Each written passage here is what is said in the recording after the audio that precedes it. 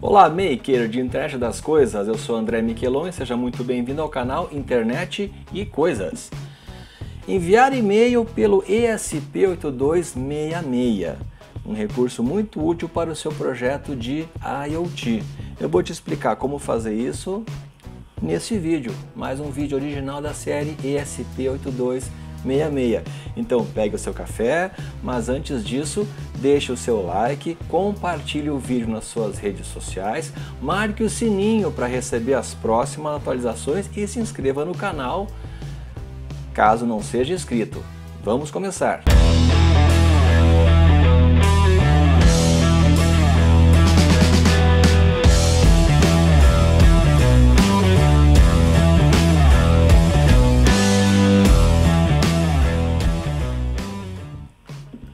A capacidade de enviar e-mails pode ser um diferencial muito importante para o seu projeto de IoT, baseado no ESP8266. Para poder enviar um e-mail a partir do ESP8266, a gente vai utilizar o protocolo SMTP, o Simple Mail Transfer Protocol, que é um, um protocolo padrão da internet definido na RFC 821, lá de agosto de 1982. O que é uma RFC? É uma Request for Comment ou requisição para comentário. As RFC são os documentos de especificação padrão da internet, elaborados pela IETF ou Internet Engineering Task Force, Força Tarefa de Engenharia da Internet. Sempre que você vir então um documento referenciado por RFC e algum número, vai se tratar então de um documento oficial de uma especificação para um protocolo ou para uma é, algum padrão da internet, ok? Eu vou deixar os links para todos esses documentos para que você possa estudá-los.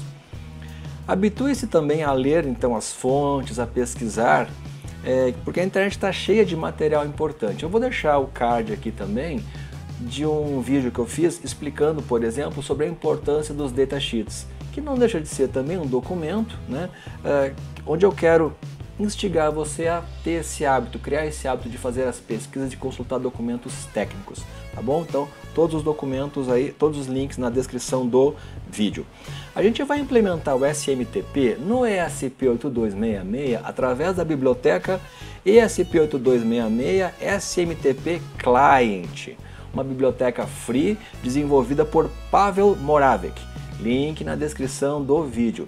Como eu comento sempre também, Habituem-se a dar os créditos sempre que você utilizar um fonte, uma biblioteca, algum trabalho desenvolvido por outra pessoa. Essa é uma biblioteca free que nós estamos utilizando então e divulgando aí o Pavel Moravec, que foi o criador dessa biblioteca. Ela tem uma série de recursos bem interessantes aí. Ela implementa então o, o set básico de comandos SMTP, implementar a autenticação de cliente, muito importante porque a maioria dos provedores hoje, hoje exige que haja a autenticação do cliente de e-mail na conta para fazer o envio do e-mail. Para que isso? Minimizar o envio de spams. Então ele implementa esse recurso. Ele trabalha com SMTP e SMTPS, ou seja, conexão segura. Ah, a gente vai usar a porta originalmente né, do SMTP, que era a 25, foi alterada desde 2013 aqui no Brasil para 587. Por quê? Também para minimizar a incidência de spams. E a SMTP-S, ou seja, conexão segura, que essa biblioteca implementa, a gente consegue acessando a porta 465. Então, no exemplo que eu vou te mostrar, nós já vamos fazer uma conexão autenticada e usando a porta 465 com transmissão segura de mensagens. Uh, ele, essa biblioteca também permite a definição uh, de alguns cabeçalhos uh, customizados, isso é muito importante. Por exemplo, eu posso definir qual é o meu programa que está enviando e-mail, que é interessante porque eu posso criar então o meu dispositivo IoT e enviar. Quando eu enviar o e-mail, definir qual o dispositivo que está enviando essa mensagem. Então é uma informação interessante. Permite múltiplos destinatários no e-mail, uh, cópia e cópia oculta, tá? todos esses recursos aí. Além dos cabeçalhos customizados que eu falei. Isso é muito importante para a gente definir, por exemplo, uh, o formato do arquivo. Com isso eu posso enviar e-mails em HTML. Olha que interessante. ESP8266 seu dispositivo de IoT enviando e-mail em formato HTML, formatado, bonitinho. E além disso, definir os cabeçalhos para o TF8, ou seja, uh, poder enviar os textos corretamente acentuados utilizando a codificação UTF-8.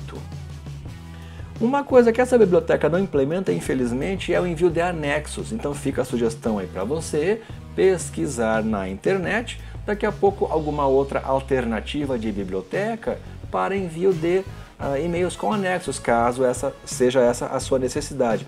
Por exemplo, gerar dinamicamente um arquivo e mandar anexado ou ler um arquivo de log, por exemplo, da SPI FFS.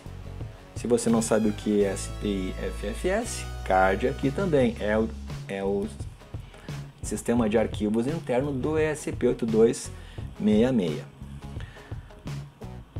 Um outro cabeçalho importante também que a gente pode definir é o date. O que é o date? É a data e hora de envio da mensagem, data e hora original do, de envio da mensagem. Ah, mas como eu vou fazer isso? Porque a gente vai implementar o que? A data e hora via NTP no ESP8266. Também card aqui para um vídeo anterior. A gente já usou esse recurso várias vezes.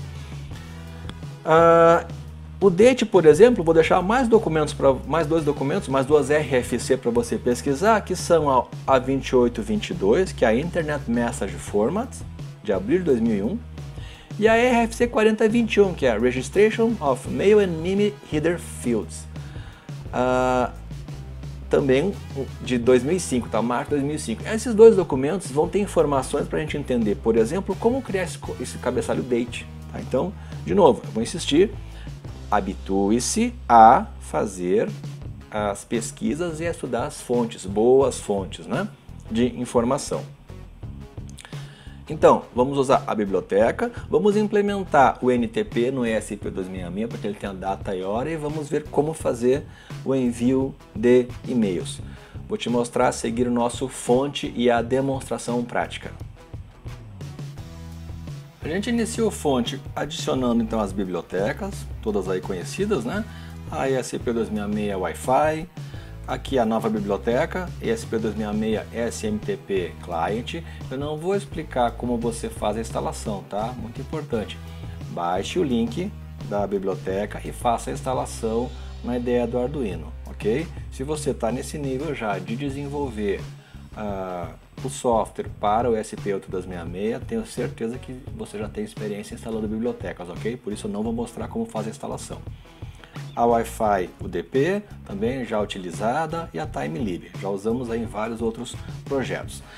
Inicia então colocando os dados aí da sua rede Wi-Fi, né? esse hotspot eu uso aqui do, do próprio notebook, os parâmetros de envio, o que, que a gente vai uh, especificar?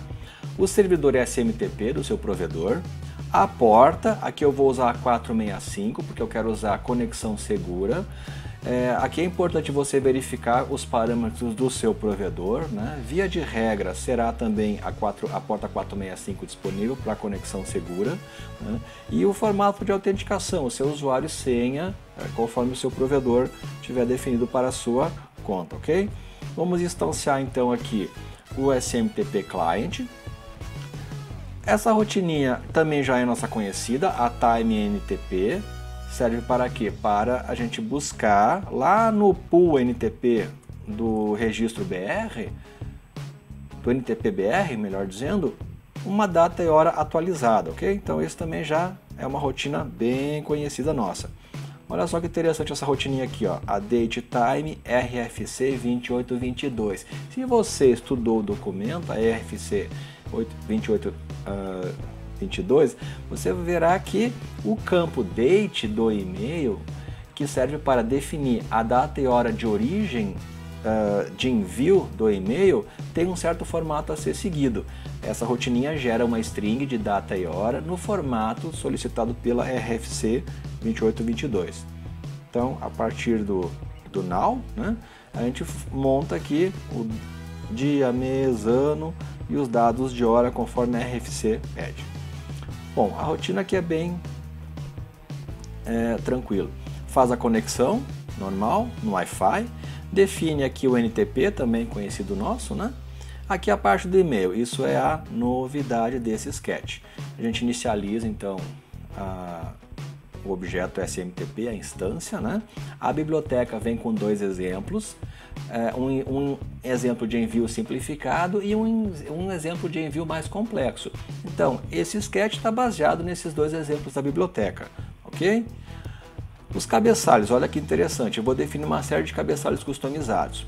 O principal deles aqui, ó, o Content Type. Eu posso definir a codificação e o tipo de uh, conteúdo. Eu vou definir, claro, tipo HTML, para que eu possa mandar e-mail formatado. E o charset, né, o TF8, codificação UTF-8. Para quê? Para que a gente possa garantir o envio correto de acentuação, no caso né, do português. Aqui um campo também. Um campo date, olha só, eu coloco então o, campo, o cabeçalho, melhor dizendo, né? Date com o formato aquele da RFC 2822 que eu criei com a funçãozinha específica. Set mailer, esse, essa função vai te permitir definir então o nome do programa de envio, o nome do cliente que você está utilizando. É uma informação interessante para questões de estatística, ok? Set Authorization, aqui ele vai autenticar com o seu SMTP do seu provedor. Inicializo aqui uma série de strings com os dados da mensagem. O from, que é o e-mail de origem, o to, e-mail ou e-mails né, de destino. Aqui eu não vou usar nem a cópia nem cópia oculta, tá? E a mensagem, que basta você criar então aí o, a string que conterá a sua mensagem. No caso eu estou criando aqui, ó, uh, criando um texto em HTML, tá?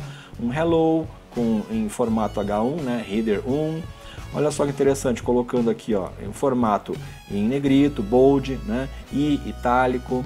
Estou criando um link, olha que interessante. Acesse a internet das co internet coisas. Vou jogar para cá. Olha só, montando o e-mail, a codificação toda, uh, o TF8 com acentuação. Coloquei aqui uma série de caracteres acentuados para te ver uh, o envio correto da acentuação aqui o subject, né, o assunto, e aqui a rotina de envio. Olha que simples. Uma vez que você define todos os parâmetros, basta, basta chamar essa função sendo message, passando os parâmetros, o from, a mensagem, o tamanho da mensagem, o to e o subject. Pronto. É só isso. Aí você vai verificar aqui, observa que eu inicializei uma variável aqui inteira com results, e eu posso utilizar depois aqui duas mensagens, duas, duas funções da biblioteca, que é o SMTP get error message e error to string, onde a gente vai obter dados sobre o resultado, que pode ser um erro ou não. Tá bom? Depois aqui também é importante fazer o end e o disconnect e pronto, enviou o e-mail. E observe que o nosso loop não vai fazer nada. Ok? Então baixe o fonte, estude. Estude também os dois exemplos que vêm com a biblioteca, estão lá para download. E agora a gente vai ver funcionando. Eu tenho um ESP 8266 Node MCU, tá? Chamei ali o Serial Monitor e vou reiniciar. Olha lá. Conectando no Wi-Fi. Não conseguiu obter a data e hora. Vamos de novo.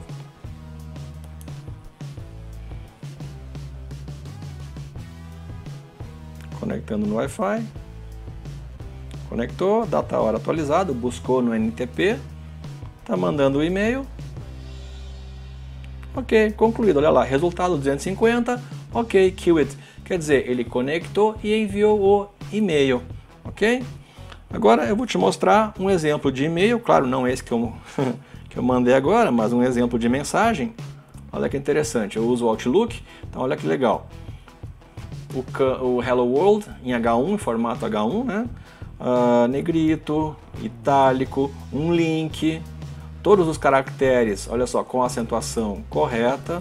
Então, compatível com o TF8 e HTML. Então agora você já sabe como fazer para mandar e-mails com o seu ESP8266. Baixe o fonte, estude o fonte, você vê que é um fonte aí bastante simples. E observe que a gente sempre coloca também aí para você alguma funçãozinha nova, né? A Time NTP que a gente já usa bastante, essa nova função aqui, ó, a DateTime RFC 2822, tudo para você ter mais conteúdo para poder estudar e aprimorar aí os seus conhecimentos. Tudo para download na descrição do vídeo. Deixe seus comentários, eu espero que essa funcionalidade seja útil para os seus projetos de IoT. E como sempre, obrigado por nos acompanhar, deixe seus comentários e até a próxima! Agora o seu dispositivo de IoT pode enviar e-mails e você viu esse conteúdo aqui no canal Internet e Coisas. Obrigado por nos prestigiar e até a próxima!